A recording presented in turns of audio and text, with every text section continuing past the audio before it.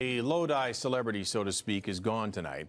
Tom Kettleman died after being hit by a car. You see, Tom was actually the town's turkey. And as you'll see, was loved by many. New tonight, CBS 13's Maria Medina is in Lodi with the farewell to a feathered friend. It is still too hard to believe for many that Tom Kettleman is gone. They counted on seeing him every single day in this area of Lodi. You see him all over and you can't help but smile. Many gathered Monday night to light candles for a dear friend. He just entertained us all the time. And he made them smile without ever saying a word. Now he's gone. His name Well, hello, Tom.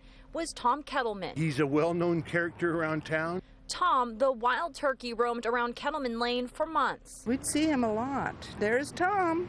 He's even got two Facebook pages, one with 3,000 followers, many documenting his life in Lodi, posting pictures and videos of their favorite fowl. Be careful, always having a snack. Some believe he stuck around the busy area because he was fed well, but that also meant he led a dangerous life. Hoped that he wouldn't get hit, although we knew that was a possibility. But on Sunday, that possibility sadly became reality. Tom was hit by a car.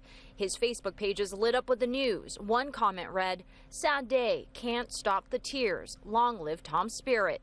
Written by John Engelman, who says he picked up Tom's body and had him cremated. It shocked me to see him laying there. Goodbye, Tom.